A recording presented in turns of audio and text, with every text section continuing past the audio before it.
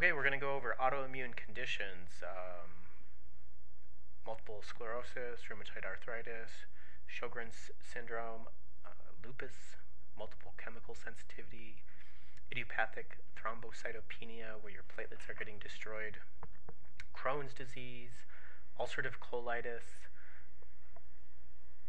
multiple uh, or um, mixed connective tissue disorder, so many abbreviations here, Raynaud's disease, and I don't know if I missed any there, but uh, basically any autoimmune condition, there is hope.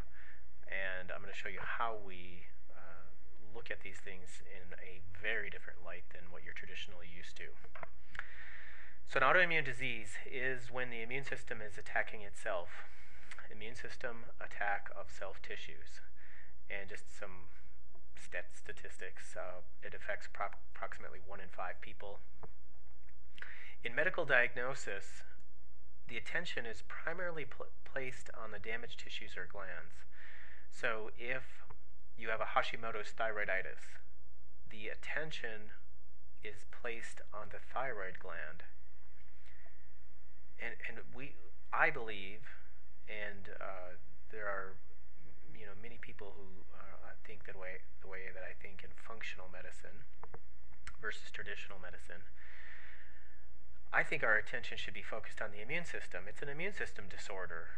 Uh, the, the, immune system is the uh, system or the organ behaving improperly, so let's pay our uh, uh, dues to that. Let's pay attention to what the immune system is doing.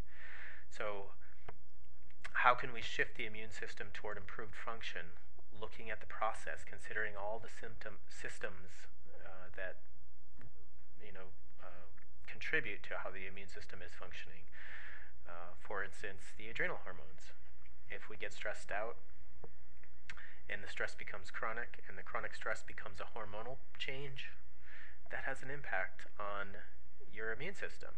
So need to look at all those systems and we need to trust the adaptations. We need to look at, you know, what that means is if the immune system is attacking some of your tissue, um, well, trusting is that that process is in place for a reason.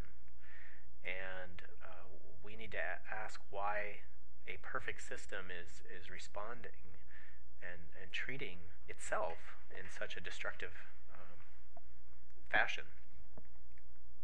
And we need to move forward in faith, uh, which means when we find the imbalances that are causing this destructive process, we can have faith that if we can correct those imbalances, your health is going to return. So let's just look at a healthy immune response. In a normal immune response, an antigen invades. An antigen is anything designated by the immune system as foreign, which could be infection, bacteria, viral, chemicals such as heavy metals, um, pesticides, things like that, or it could be an allergen. Uh, the most famous probably being gluten intolerance or wheat intolerance in celiac disease. There's an immune sensitivity to those foods. When an antigen uh, reaches the bloodstream, a macrophage bumps into it and, and eats it, basically. While it's uh, processing that foreign substance, it radios for help via what is called the Th1 cytokines. These are hormone-like substances that uh, call into action a certain uh, group of cells, namely the cytotoxic T cells and the natural killer cells. And that's what these are down here, T and natural killer cells. So those are who come to clean up the mess. If the T cells fail to vanquish the antigen, uh, perhaps it's a virus, and virus being so tiny that they get into cells and they are uh, not able to be found easily by the cytotoxic T cells. A further radio, uh, uh radioing for help to the B cells via the Th2 cytokines. And these, again, are just hormone like substances that communicate cell to cell in our body to initiate a new response. So the B cells come out, and what they do is they tag the infected cells for destruction. So let's say, uh, like in hepatitis, the virus gets inside the liver cells, it tags those infected cells for destruction. And then the T cells, the natural killer cells, can recognize the antigen and further uh, uh, accomplish its uh, removing of it. And when the uh, war is won, the T suppressor cells call in the troops. And T suppressor cells are unique individual cells in the immune system that are um, akin to uh, one of the secretaries of state that, uh, you know, literally send the uh, message to attack or to withdraw. Another very important cell in looking at the diagnosis on a deeper level. So immune dysregulation, dysregulation, regulation is um, everything is being balanced. Dysregulation is things are out of balance. So the things that we see when we get into our diagnostics are an imbalance between the T and the B cells.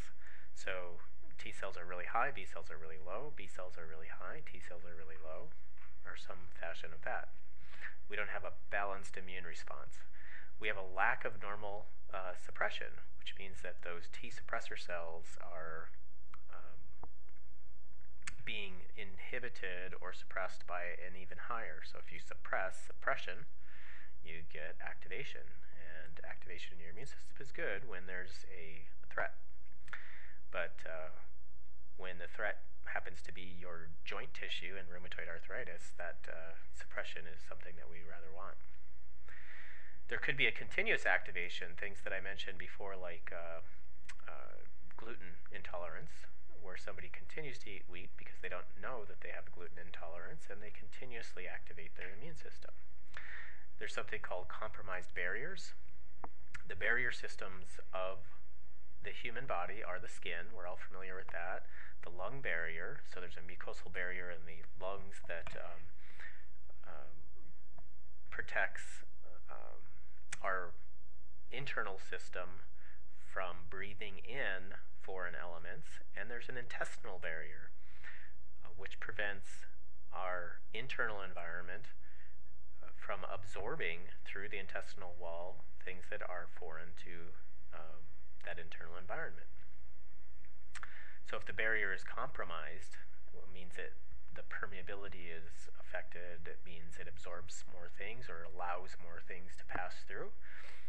Then when we eat our food, um, undigested proteins, waste materials are absorbed into the bloodstream, and that results in an uh, immune activation. Stress, as I mentioned already, and stress isn't just life. Stress also refers to chronic anemic states, meaning you don't have enough oxygen going to your body. That's pretty stressful for your body and your nervous system junk food that causes um, uh, blood sugar spikes, uh, which results in insulin spikes, which then results in low blood sugar, which then results in uh, activation of the adrenal system, which is your stress system, to bring the blood sugar back to normal. So we'll get into that in more detail, but uh, junk food is, is a stressor too. It's not just a blood sugar problem. Um, the pancreas and the adrenals work together to maintain healthy blood sugar. Inflammation is another key stress um, producer. When there's inflammation in your system, your body is signaling via hormones such as cortisol that it's sick. And uh, when you're inflamed because of a diet, because of uh, uh, immune activity, uh, we constantly get those stress signals. And like I mentioned with the uh, junk food insulin surges, insulin resistance, which means that your uh, insulin isn't even working very well for you anymore. Its job is to get sugar inside the cell, and when we become resistant, it can't do that.